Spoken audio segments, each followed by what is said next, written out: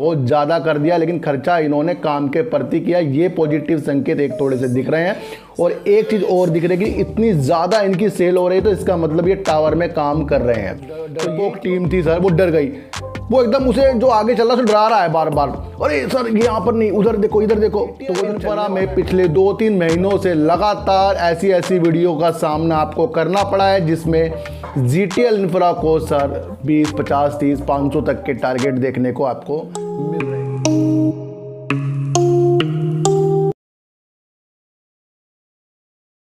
नमस्कार, मैं स्वागत करता हूँ आपका अपने ही चैनल में, जिसका नाम है सार्थक बाज़ार से। और आज बात करेंगे sir G T L infra की, और बात करेंगे sir B P C L की सर। इन सब की बात करने से पहले सर, आपको एक चीज़ बता दूँ, जो आपको मज़बूत कर सकती है। क्योंकि कुछ चीज़ें ऐसी होती हैं, जिसे हम सुनकर मोटिवेट होते हैं और उन चीज़ों को हम त्याग देते हैं जो हमारे साथ निगेटिव लोग जुड़ते जाते हैं। सर, आप कभी कभी देखना कि आपके पास जो भी शेयर हैं, या आपने उसे किस सोच में लिया है तो उसके अंदर आपने वीडियो देखी और कोई आपको निगेटिव कोई आपको पॉजिटिव वीडियो उसमें मिलती ही रहेगी। लेकिन सही चीज़ आपको तब लगनी चाहिए कि जो वीडियो आप देख रहे हैं, वो वाकई में ही आपके दिल पे लग रही है। तथ्यों पे वीडियो है और उसके अनुसार ही आप अपनी एनालाइज करके उन शेयरों में बाय सेल बिल्कुल अपने अनुसार करिए। किसी के भी कहने पे मत करिए सर क्योंकि जी टी एल इन्फ्रा में पिछले दो तीन महीनों से लगातार ऐसी ऐसी वीडियो का सामना आपको करना पड़ा है जिसमें जी टी एल इन्फ्रा को सर 20, 50, 30, 500 तक के टारगेट देखने को आपको मिल रहे हैं। एक बात आपको मैं बता दूँ सर एक जंगल में एक जंगल में कुछ खजाना है, दो टीम बनाई गई और दो टीम सर पाँच पाँच लोगों की दो टीम बनाई गई और दोनों रास्ते पे निकल गए अलग अलग दिशा में और वो खजाना ढूँढने लग गए। अब एक टीम सर उसके अंदर ठीक थी और दूसरी टीम भी ठीक थी, लेकिन जो उसके साथ जुड़े हुए लोग थे ना, वो गलत थे। यानी जो उनको चला रहा था, वो तो ठीक था और जो दूसरे लोग उनसे जुड़ गए थे एक टीम का, वो गलत थे, सर। तो जैसे ही जंगल में आगे बढ़ते हैं, किसी को कुछ गड्ढा दिखा तो डरपोक टीम थी सर, वो डर गई। वो एकदम उसे जो आगे चल रहा है डरा रहा है बार बार अरे सर, ये यहाँ पर नहीं, उधर देखो, इधर देखो। तो वो जो चलने वाला है ना, वो भी अपना ध्यान भटका देता है। कभी सांप दिख रहा है, जो जंगल में तो सर ऐसी चीज़ें दिखेंगी।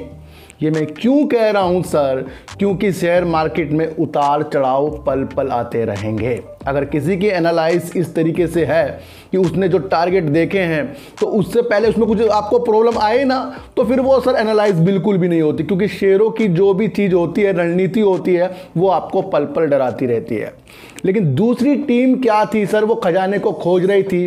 और जो भी उसके साथ चल रहे थे, उन्हें अगर गड्ढा भी दिखा तो वो ये बोलते थे, भाई, गड्ढा है सला संभल के चलिए, कूद के चलिए, इधर से चलिए, उधर सांप है, थोड़ा इधर साइड में चलिए। तो एक प्रोत्साहन वो अपने लीडर को करते रहते थे, जो उसके साथ जुड़ी हुई टीम थी। वो साथ दे रहे थे आपस का। और दूसरे लीडर अलग था, बाकी लोग अलग तरीके से तो वो कभी भी पैसा नहीं कमा पाएँगे, इसलिए उनको खजाना नहीं मिला। ना किसको खजाना? जो सर डर से भी जीत रहा है गड्ढों से भी कूद रहा है और गली गली में जो रुकावट आ रही है, उसको भी वो लांग कर आगे जा रहा है। यही मार्केट का एक रूल है, इसको आपको समझना पड़ेगा। तो बात करते हैं सर बीपीसीएल की, और बीपीसीएल की इसलिए बात करेंगे कि कुछ दिन पहले सरकार ने कहा था कि वो अपनी पूरी की पूरी हिस्सेदारी को बेचने के लिए निवेशक ढूंढ रही है। अब निवेशक वो ढूंढ रही है, उनका जो हिस्सा है, सर, बावन पॉइंट अट्ठानवे परसेंट का अपना हिस्से वो बेचने के लिए बीपीसीएल में तैयार हो रही थी। कुछ दिनों से उन्होंने निवेशकों को ढूंढा, लेकिन उनको नाकामी ही हाथ लगी है। पर केंद्र सरकार ने अब मन बनाया है, जो उनका बावन पॉइंट अट्ठानवे परसेंट का जो स्टेक है, उसके अंदर से वो एक चौथाई ही बेचने का मन बना रही है। यानी कि जो गवर्नमेंट कंपनी थी, उसमें से सरकार अपना बावन पॉइंट अट्ठावन परसेंट में से एक चौथाई बेच रही है। यानी कि 20 से 25 परसेंट का अपने हिस्सेदारी के लिए वो निवेशक खोज रही है। तो कहीं ना कहीं ऐसी भी न्यूज़ आपको देखने को मिलती है कि कह दिया कि बैंक प्राइवेट हो गया, फिर अगले दिन कुछ नहीं खबर आती, कोई कहते कंपनी प्राइवेट हो रही है, फिर अगले दिन खबर आती है, नहीं मिले ग्राहक। तो इस तरीके से भी शेयर मार्केट में उतार चढ़ाव उस स्टेटमेंट से आ जाते हैं। तो अब सरकार पूरा स्टेक ना बेचकर अपना 20 से 25 परसेंट का स्टेक बेचेगी, इसलिए आपको शेयरों में थोड़े दिन तक के या एक दो दिन आपको छोटी मोटी की गिरावट देखने को मिलेगी। तो बात करते हैं सर जीटीएल इंफ्रा की। सर मार्केट कैप से ज़्यादा तो इनका कर्जा है नंबर वन बात। अब बात करेंगे सर कि जहाँ जीटीएल इंफ्रा ने पिछले बार दिया था, इस बार इसने उसको इतना ज़्यादा कर दिया कि सुनने वालों की जो इंद्रिया है ना, वो भी डगमगा जाएगी और जिनके पास शेयर हैं वो तो फिर घबराई जाएँगे भैया हुआ क्या? ऐसा क्या हुआ? है इतना कि इतना ज़्यादा इन्होंने लॉस कर दिया है सर तो पिचासी हज़ार तीन सौ अड़तालीस लाख का इन्होंने इस बार लॉस कर दिया है, जो एक अपने आप में ही डराने वाली बात बन जाती है। आपको एक बात मैं और बता दूँ कि कंपनी ने सर सैंतीस हज़ार दो सौ छत्तीस रुपये का इनकम की है। तो ये भी एक देखने वाली बात है कि जिस कंपनी का शेयर प्राइस ही एक रुपये करीब में चल रहा है, वो सैंतीस हज़ार दो सौ छत्तीस लाख की सेल कर रही है। ये भी आपको एक चौंकाने वाली बात मिल रही है, सर। अब इनको जो भी नुकसान हुआ है लॉस हुआ है, वो किस लिए हुआ है कि छप्पन हज़ार दो सौ अड़तीस लाख करीब इन्होंने खर्चा कर दिया है।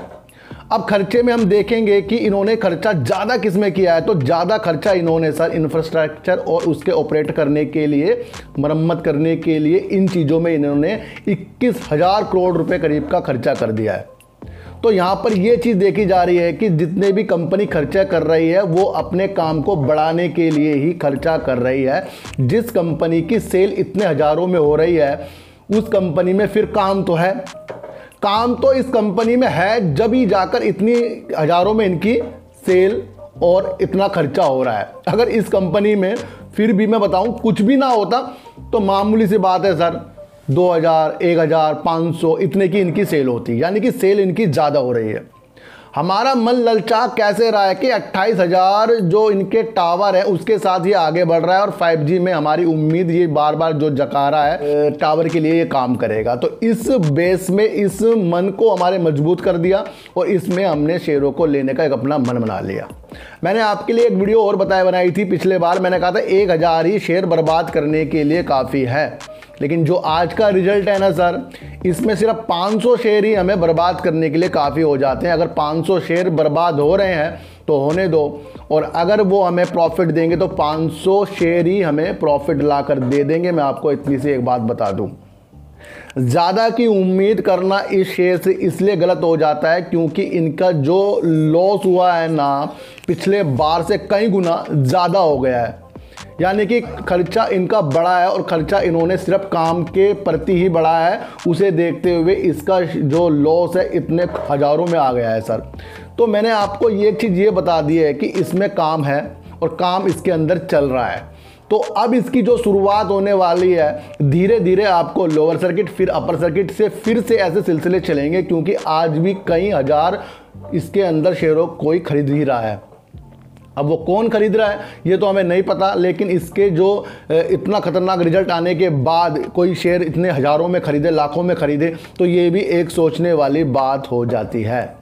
आगे से हमें एक चीज़ देखनी पड़ेगी कि G T L infra share हो या कोई सा भी शेयर हो, जिस तरह से इनकी प्राइस होती है एक से पाँच सात रुपए के बीच में, उसमें ज़्यादा शेयर हमें लेकर बिल्कुल भी नहीं बैठना है। ये मेरी बात आप बिल्कुल ध्यान से सुनो, सर।